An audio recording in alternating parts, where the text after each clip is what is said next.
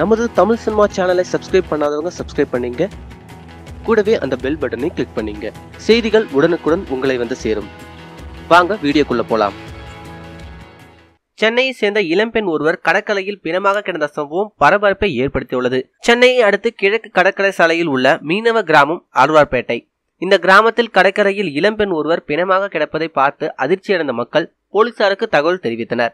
அதன்பின் சம்பவ இடத்துக்கு விருந்து சென்ற போலீசார் பெண்ணின் சடலத்தை கைப்பற்றி பிரேத பரிசோதனைக்காக அனுப்பி வைத்தனர். மேலும் சம்பவ இடத்தில் கிடந்த பெண்ணின் கைப்பையை சோதனையிட்டபொழுது அதில் அழகு சாதன பொருட்கள் மாத்திரை அடையாள அட்டை பணம் உள்ளிட்டது இருந்துள்ளது. கிடைத்த அடையாள அட்டையின்படி அப்பெண் சென்னை என்றும் அவரது பெயர் ஜகிரா என்றும் தெரிய வந்துள்ளது மேலும் இறந்த பெண் உயிருக்கு போராடியுள்ளது தடயங்கள் இருப்பதால் பாலியல் வன்கொடுமை நடந்திருக்கலாம் என்ற கோணத்தில் விசாரணை நடைபெற்று வருவதாக தகவல் தெரிவிக்கின்றன. அவர் இறந்த இடத்தில் ஆண் ஒருவரின் கால்பாதங்கள் இருந்தாலும் அப்பெண் ஆடைகள் களையாததால் சம்பவம் குறித்து குழப்பிய நிலையில் வருவதாக போலீசார் தெரிவித்துள்ளனர். இதற்கிடையில் இளம்பெண் பிணமாக கிடந்த சம்பவம் சென்னையில் பெரும் பரபரப்பை ஏற்படுத்தியுள்ளது. மேலும் இதுபோல செய்திகளுக்கு லைக் மற்றும் சப்ஸ்கிரைப் செய்யவும்.